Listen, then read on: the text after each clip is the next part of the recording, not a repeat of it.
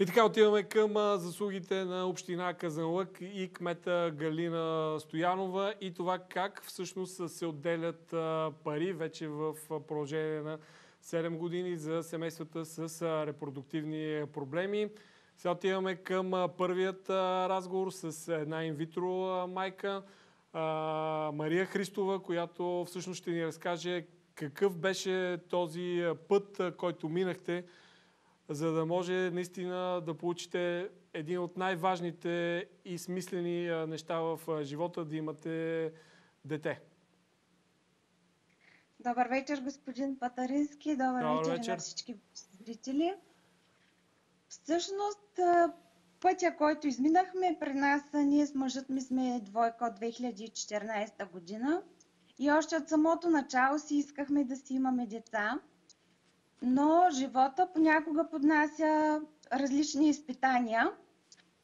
И нашето изпитание първо беше свързано с това да а, се преборим за живота на съпругът ми, който тогава все още беше мой партньор, тъй като той преболедува доста тежко заболяване и година и половина нали, се борихме той да бъде жив и здрав и да бъде добре. Може ли само да ви помоля в центъра да застанете на камерата? Да. А, благодаря да. ви. Да, продължете разказа. И след това, а, слава Богу, всичко с него е наред и преминахме към следващата стъпка, най-важна в живота ни, да си създадем дете. Да. И след като не получаваше, знаете, нали, образовани хора сме, започнахме да търсим медицинска помощ. И така се стигна до това, че ние, ние ще сме двойка с инвитро оплождане. Нямаше как да се получат нещата. Добре, кажете ми как кандидатствахте по тази а, общинска програма? Всъщност, а, доколкото разбирам, вие сте го направили това през 2019, а детето Точно, се ражда да. през 2020, да. Децата се раждат Децата. през 2020. Да, ние сме родители на близнаци. Да са живи и здрави. И така. Благодаря ви. Ами, аз бях прочела за, и, за тази кампания на общината доста отдавна, доста преди да, да си помисля, че ще ми се наложи да искам такава помощ от общината. И след като нали, ни съобщиха, че по този начин ще се развият нещата при нас и няма как да кандидатстваме за подкрепа от фонда за асистирана репродукция, нали? А, тогава а, кан... реших, че ще кандидатстваме, нали? ще, си... ще подадем документ, необходимите документи към общината. Имахме подкрепата и на нашите родители, на нашите семейства, разбира се, защото а, голяма е помощта от общината, но нали тя не покрива цялата сума за една такава процедура. Да, доколкото и разбирам, така... еднократна финансова помощ, това е въведено с решение на камета госпожа Галина Стоянова. Да. 500 лева на всяко новородено бебе. Това е след, след като се родят децата, да, но имат такава... Да, Община Казанлък всъщност има кампания, в която подпомага двойки с репродуктивни проблеми за самата процедура по инвитро оплождане. Mm-hmm. Заедно съвместно с Инер Уил Клуб Казанлък. И ние всъщност получихме 2000 лева от Община Казанлък еднократна помощ за инвитро процедурата. А сега отделно също съм кандидатствала за помощта за отглеждане на деца в семейството, която е 500 лева за дете. Да, това е всъщност в... от 2020 година, когато вие всъщност ставате майка на близнаци. Да, точно така, да. да. Тоест аз съм подпомогната в случая в, в, два пъти от община Казанлък, за което нали, тук трябва да изкажа своите благодарности, че така мислят за младите семейства в общината. Нали? Много е, това е огромна подкрепа за Разбира се, семейство. вие е, казахте през какъв е, път е, сте минали. Първо сте се борили за да. е, живота на вашия Да. съпруг, след това да се успокоите, да може е, всички процедури да минете и да станете е, родители. В такъв момент Да. си трябва помощ, както психическа, така и подкрепа от страна на общината. Точно така. И имайки предвид, че тогава към момента мъжът ми беше м- безработен, Да. нали, доста, доста голяма помощ ни, отка... ни оказа община Казанлък. Трябва ли по време на пандемия да се раждат а, повече деца? Ами, аз мисля, че деца трябва да се раждат по всяко време, не само по време на пандемия, и те се Така раждат е. по всяко време. Но сега Моите казват, че деца- има ръст на раждаемостта по време на пандемия, защото хората изкарват повече време заедно, а, мислят за възпроизводство и така да има повече деца, които, защото не се знае, живеем в несигурни времена. Да. Та Ами, второ, може би изолацията води нали, до повече, до това нали, да има повече деца, което не е лошо. Нали, Да. В Америка има примери с ураганите, които а, като дойде ураган и след това има родени повече деца след урагана, тъй като двойките са си били затворени вкъщи по-дълго време.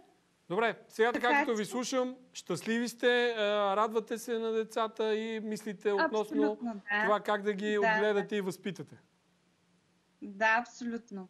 Добре, благодаря ви за този разговор. Ние продължаваме с още един разговор. Той е, е, ще бъде с Златка Георгиева. Очакваме с нетърпение да се появи нейното дете Виктория Ангелова, която всъщност още вчера е искала да участва в предаването, но знаете, брифингът на министърът на здравеопазването ни изненада. Утре очакваме а, всъщност а, мерките, които ще бъдат а, така прияти от правителството или отхвърлени, а иначе а, това, което правят от а, община Казанлък е всъщност да подпомагат а, а, семействата с репродуктивни проблеми. А, ето, вече са на линия. А, здравейте! Много се Здравейте, радвам да ви здравейте. видя. Здравейте! Как сте?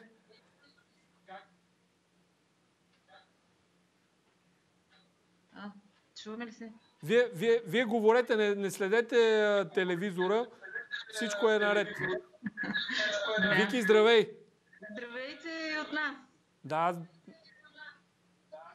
Само си намалете звука на телевизора и ще ви помоля да, да ме слушате през а, таблета. А, да разкажете всъщност а, Виктория е родена на една много, много хубава дата. Денят на българската община по, общинск, по общинската програма инвитро на община Казанлък.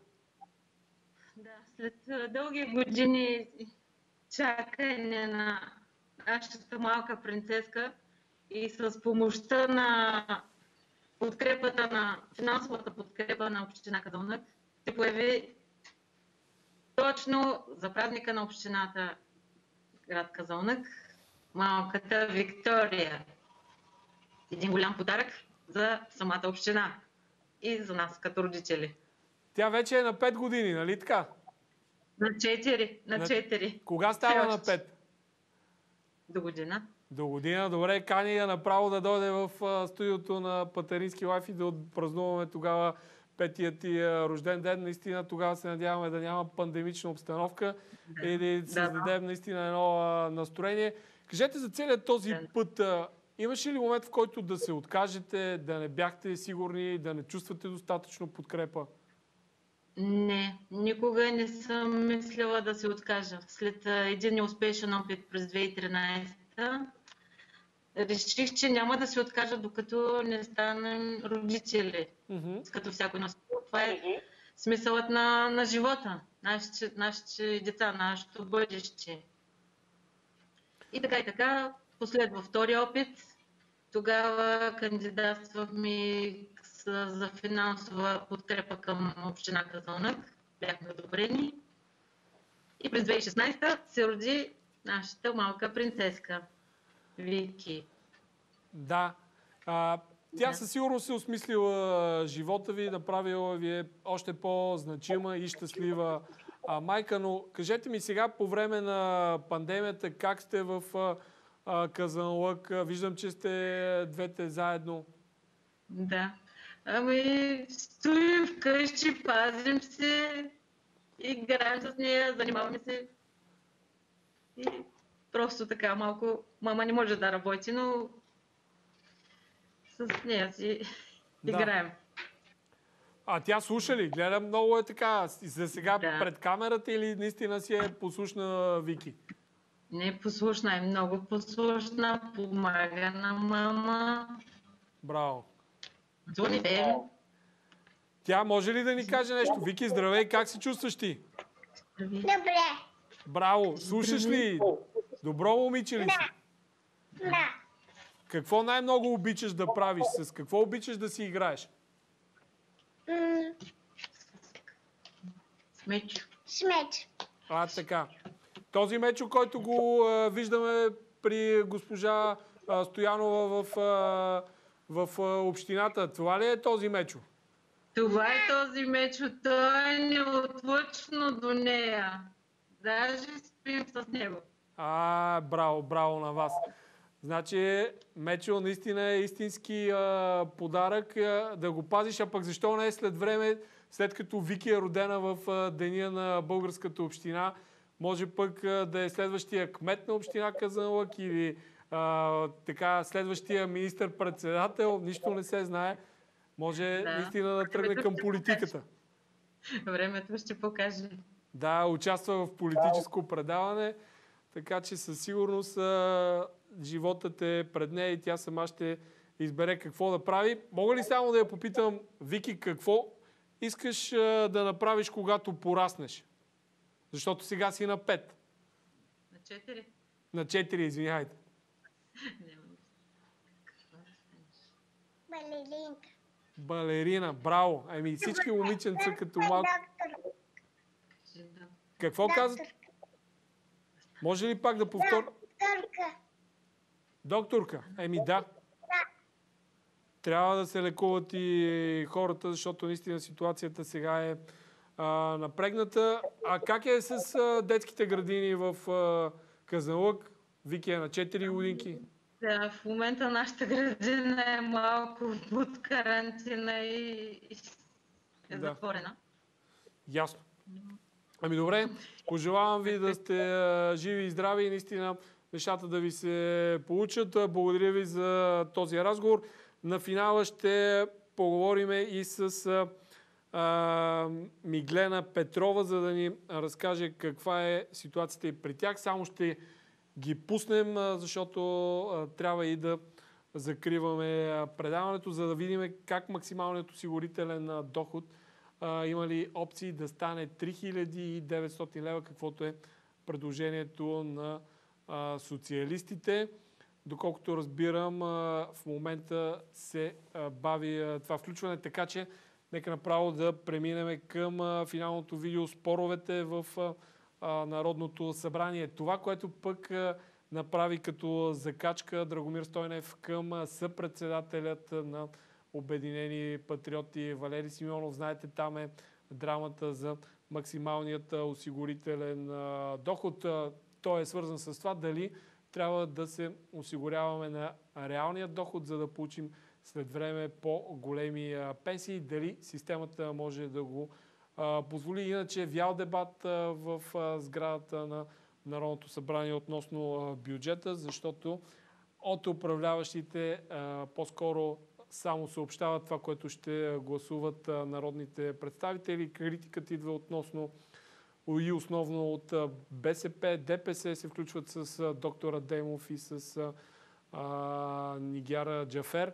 Така че нека да видим закачката Стойнев и Валери Симеонов.